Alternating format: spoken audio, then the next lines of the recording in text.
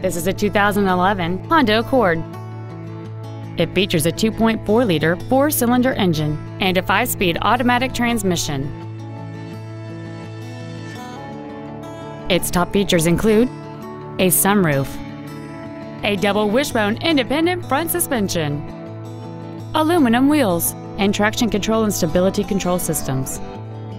The following features are also included a low tire pressure indicator, air conditioning, cruise control, a six speaker audio system, front multi stage airbags, rear seat child proof door locks, steering wheel mounted controls, full power accessories, a CD player.